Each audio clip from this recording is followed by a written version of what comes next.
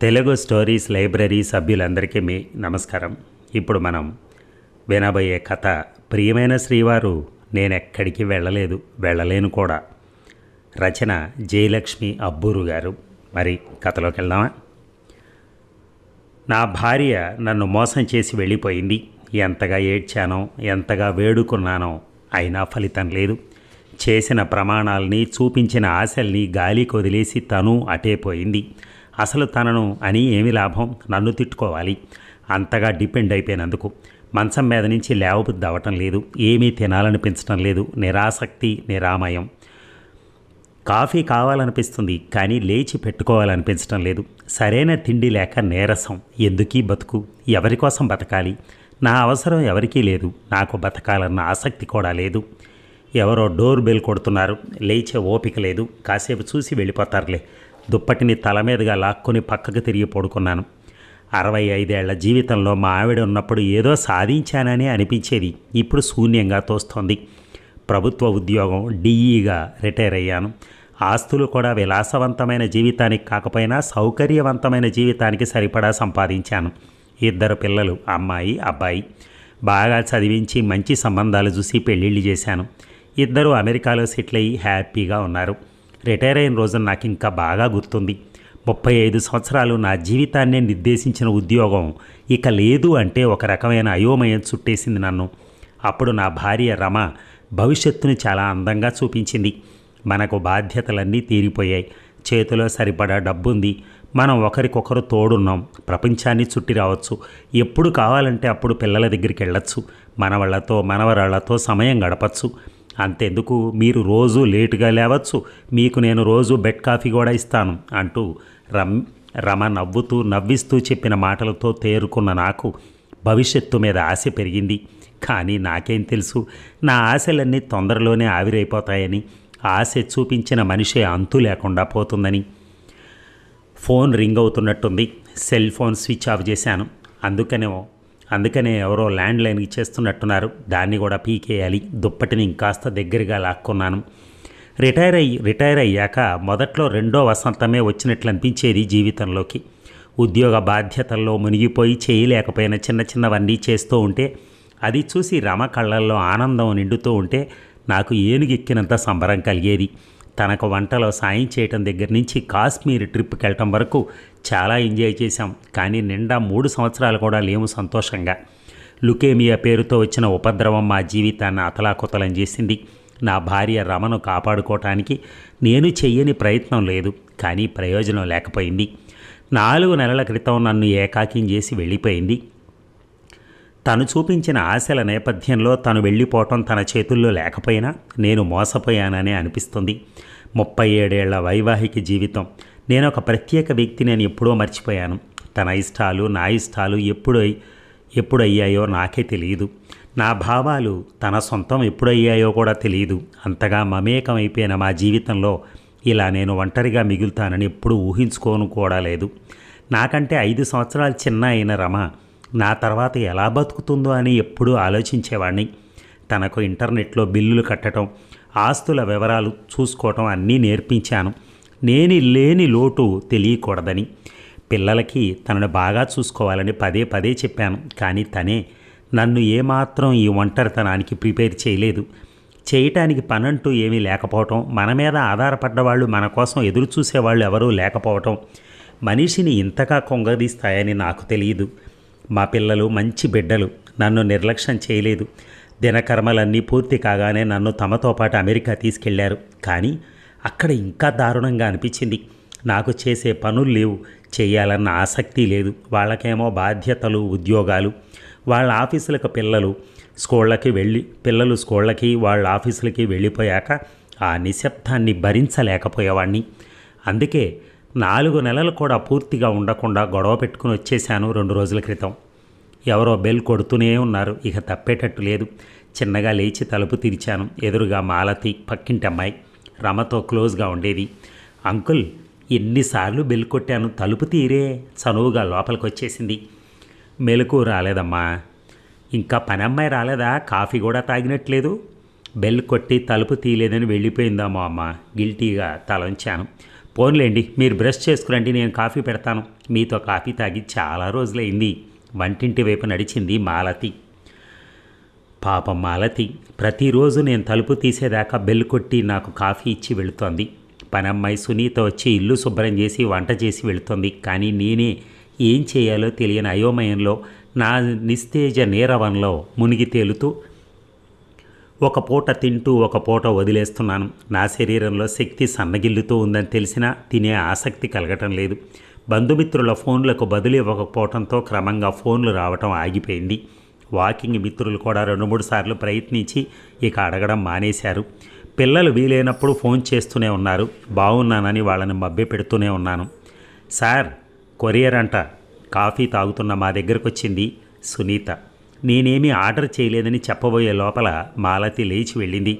అవి మనవి కాదమ్మా. బాక్సులతో తిరిగొచ్చిన మాలతికి చెప్పాను. మీవే అంకుల్. స్వాతి పంపించింది. నా కూతురు స్వాతి ఏమి పంపించుంటుంది నేనేం అడగలేదే. నా ప్రశ్నకు సమాధానం మాలతి బాక్సులు తెరవటంతో ఎదురుగా ఐదు రోజు రోజా మొక్కలుగా కనిపించింది. రమకి మొక్కలంటే ఎంత ఇష్టమో తన కోసం స్వాతి మంచి మంచి మొక్కలు ఇంటర్నెట్లో వెతికి పంపించేది. రమ ఎక్కడ స్థలం ఉంటే అక్కడ ఇంటిని మొక్కలతో నింపేసేది. నేను అమెరికా వెళ్ళేప్పుడు అన్నింటినీ ఇచ్చేశాను. ఇప్పుడు నేనేమీ చేసుకోవటానికి ఈ మొక్కలు రమను తమను రమను మరింత గుర్తు చేయటానికి కాకపోతే మాలతి నువ్వు తీసుకెళ్ళమ్మా ఈ మొక్కలు. కళ్ళల్లో నీళ్ళు తిరిగిన నీరు తనకు కనిపించకుండా ముఖం పక్కకు తిప్పుకున్నాను. అంకుల్ స్వాతి బాధపడుతుంది. ప్లీజ్ ఉంచండి. సున్నితంగా తిరస్కరించి వెళ్ళిపోయింది మాలతి. ఆ మొక్కలనే చూస్తూ కూర్చున్నాను. పువ్వులు విరబూసి ఉన్నాయి. ఒక్కొక్కటి ఒక్కొక్క రంగు. మొక్కలు కొంచెం వడలినట్టు అనిపించాయి. వాటిని తీసుకెళ్ళి బాల్కనీలో పెట్టి నీళ్ళు పోశాను. రమ నమ్మినట్టు అనిపించింది. ఆ ఫీలింగ్ కోసమే ప్రతిరోజు లేవగానే మొక్కలకు నీళ్ళు పోయటం అలవాటు చేసుకున్నాను. కానీ రోజులు మాత్రం దుర్భరంగానే గడుస్తున్నాయి. జీవితం తెగిన గాలిపటంలా అనిపిస్తూ ఉంది సంపూర్ణ విశ్రాంతి కావాలనిపిస్తూ ఉంది ఇక అంకుల్ ప్లీజ్ అంకుల్ నాకు ఈ ఒక్క హెల్ప్ చేయండి చాలు. ప్లీజ్ మాలతి గంట నుంచి అభ్యర్థిస్తూనే ఉంది. ఎలా మాలతి? నాకు కుక్క పిల్లని చూసుకునే అంత ఇష్టం కానీ ఓపిక కానీ రెండూ లేవు. నన్ను వదిలేయమ్మా.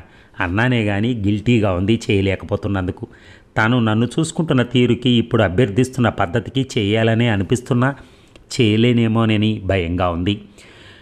పిల్లలు చాలా అడుగుతున్నారని కుక్క పిల్లని తెప్పించిందట మాలతి. భర్తకి ఇష్టం లేదని తెలిసినా తెప్పించాక పిల్లల కోసం ఒప్పుకుంటారులే అనుకుంది. కానీ ఆయన ససేమిరా కాదని చెప్పడంతో ఆయన్ని ఒప్పించే వరకు నన్ను చూసుకోమని అడుగుతోంది. నేనే ఒక పూట తింటూ ఒక పూట మానేస్తూ అయోమయంలో బతికేస్తున్నాను. నేను ఈ బాధ్యతను మోయగలనా అని నా భయం. జస్ట్ మీ ఇంట్లో ఉండనివ్వండి అంకుల్. దాని పని మొత్తం నేనే చూసుకుంటాను. ప్లీజ్ అంకుల్ ఇచ్చేస్తానంటే పిల్లలు ఏడుస్తున్నారు. ప్లీజ్. మాలతి ముఖంలోని వేడుకోలు నన్ను మరో మరో మారు మాట్లాడనివ్వలేదు. అయితే ఏ మాటకు ఆ మాటే చెప్పుకోవాలి? చిన్న పొమేరేనియన్ కుక్కపిల్ల ఎంత అందంగా ఉందో అనుకోకుండా ఉండలేకపోయాను.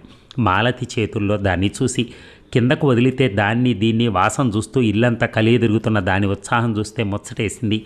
దాంతోపాటు దాని ఫుడ్ ప్యాకెట్లు కూడా ఇచ్చి వెళ్ళింది మాలతి. ఇక నన్ను చూసుకుంటే నాకే ఆశ్చర్యం వేస్తోంది. మా కుక్కపిల్ల టామీ నా దగ్గరకు వచ్చి నిండా పది రోజులు కూడా కాలేదు. కానీ దానితో అనుబంధం ఎంతగా పెనవేసుకుపోయిందో. దానికోసమే ఉదయాన్నే మంచం దిగుతున్నాను.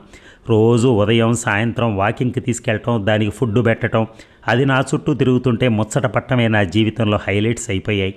మా పెళ్ళైన కొత్తలో నేను కూడా మా రమ చుట్టూ ఇలాగే తిరిగేవాడిని అందుకనే తనకు నా మీద అంత ప్రేమ ఉందేమో.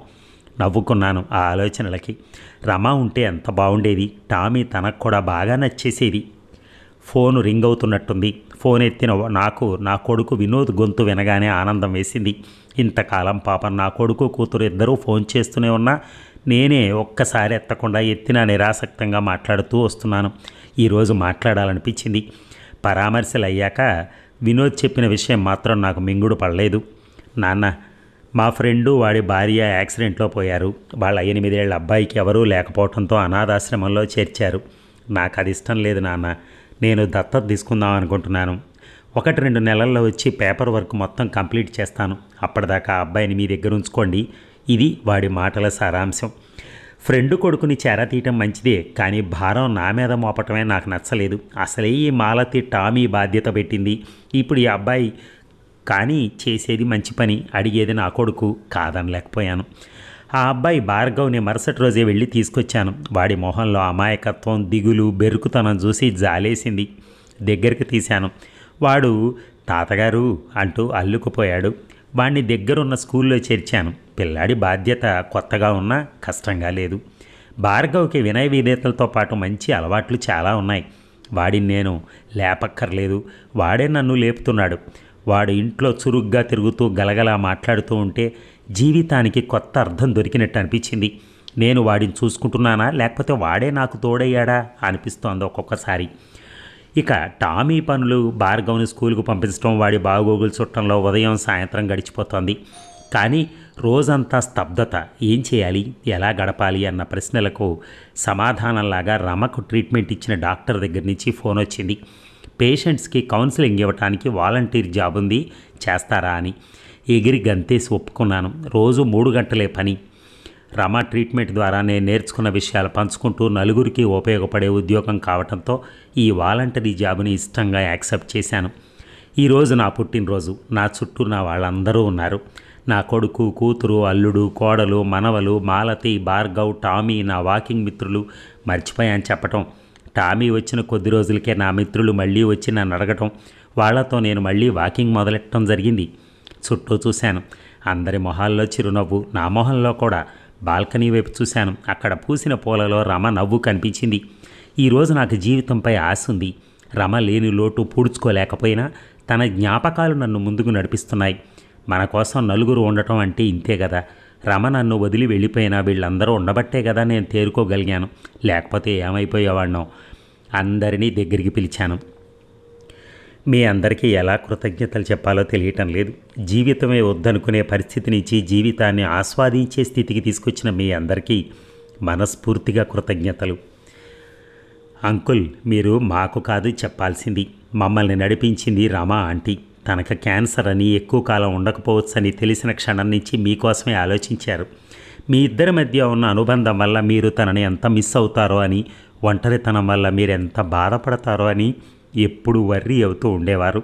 కానీ తన చివరి రోజులు మీకు మధుర జ్ఞాపకాలే కావాలి కానీ బాధ మిగల్చకూడదని తన దుఃఖాన్ని కష్టాన్ని మీ ముందు బయటపెట్టేవారు కాదు. మాకు పదే పదే మీ గురించి చెప్పేవారు. ఎప్పుడు ఏం చేయాలో మా అందరికీ వివరంగా ఆదేశాలు ఇచ్చారు. మీరు అమెరికా వెళ్ళినా అక్కడ ఎక్కువ రోజులు ఉండలేరని తిరిగి వస్తే ఒంటరితనంతో డిప్రెషన్కు గురవుతారని రమా ఆంటీ గెస్ చేశారు. దాన్ని బట్టి అన్నీ ప్లాన్ చేశారు.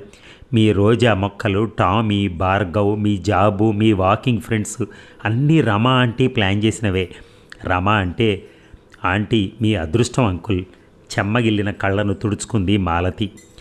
నాన్న అమ్మ మా అందరికీ చాలా చాలా జాగ్రత్తలు చెప్పింది. చాలా ప్రామిసులు తీసుకుంది నాన్న. మీరు బెటర్ కాకపోతే మా ఇద్దరిలో ఎవరో ఒకరో ఇండియా వచ్చేసేవాళ్ళం. గద్గద స్వరంతో నా చేతుల్ని తన చేతుల్లోకి తీసుకుని ఓ కవర్ నా చేతుల్లో పెట్టింది స్వాతి. నాకు బుర్ర తిరిగిపోయింది. ఇవన్నీ రమ ప్లాన్ చేసిందా? అయితే భార్గవ్ మీ ఫ్రెండ్ కొడుకు కాదా? వినోద్ని అడిగాను. కాదు నాన్న. అనాథ శరణాలయంలో భార్గవ్ని అమ్మాయి సెలెక్ట్ చేసి అడాప్ట్ కూడా చేసుకుంది. వాడిని మీ దగ్గరికి చేర్చడానికి నేను కేవలం ఒక మార్గం మాత్రమే. అమ్మ ఏం చెప్పిందో తెలుసా? ప్రస్తుతానికి నాన్నకి తన బాగోగులు చూసే వాళ్ళకంటే తన బాగోగులు చూడవలసిన వాళ్ళు ఉండటం ముఖ్యం. తర్వాత ఆయనకు అవసరమైనప్పుడు మీ అందరూ ఆయన్ని జాగ్రత్తగా చూసుకోండి అని వినోద్ నా భుజం మీద చెయ్యేస్తూ చెప్పాడు. నాకు అర్థమైంది నిర్వర్తించాల్సిన బాధ్యతలు లేక సరదాగా గడపడానికి తోడు లేక నడి సముద్రంలో గమ్యం లేని నావలా ఉన్న నాకు మొక్కలు టామీ భార్గవుల రూపంలో బాధ్యతలు కల్పించి దిశానిర్దేశం చేసింది రమ. మిత్రుల రూపంలో మానసిక ఉల్లాసాన్ని క్యాన్సర్ హాస్పిటల్లో ఉద్యోగంతో మానసిక సంతృప్తిని ఇచ్చింది. ఇన్ని తీసుకున్న నేను ఈ రుణం ఎలా తీర్చుకోను? స్వాతి ఇచ్చిన కవర్ వైపు చూశాను. ఏదో లెటర్లా ఉంది. దాన్ని తెరిచిన నన్ను రమ దస్తూరి స్వాతి చినుకులాగా పలకరించింది. ప్రియమైన శ్రీవారు నేను ఎక్కడికి వెళ్ళలేదు వెళ్ళలేను కూడా. మీ మనసుతో పెనవేసుకుపోయిన నా మనసుకి విడదీసుకోవటం తెలియదు మరి. మీ గుండె చప్పుడులో నేనున్నాను. మీ ఉచ్ఛ్వాస నిశ్వాసంలో నేనున్నాను. జీవితం దేవుడిచ్చిన వరం. మీరు మీ జీవితాన్ని పరిపూర్ణంగా ఆస్వాదించాలని అది నా కోసం కూడా కాబట్టి మీ ఆస్వాదన మరింత గాఢంగా ఉండాలని కోరుకుంటున్నాను. ఆనందంతో విరిసే మీ చిరునవ్వు నాకు మలయ మారుతం సంతృప్తితో నిండిన మీ కళ్ళు నాకు మృష్ణాన్న భోజనం. మరి నన్నెప్పుడూ హ్యాపీగా ఉంచుతారుగా? ఎప్పుడు మీతోనే ఉండే మీ రమ. ఇలాంటి భార్య ఎన్ని జన్మల పుణ్యమో. తన మరణంలోనూ నా గురించి ఆలోచించింది కళ్ళ నిండా నీళ్ళు. కానీ నా పెదవుల మీద చిరునవ్వు మాత్రం చెరగనివ్వలేదు. నేను నా రమ కోసం ప్రేమాన్వితమైనటువంటి నా రమ కోసం. Thank you. Thank you very much. ధన్యవాదాలు.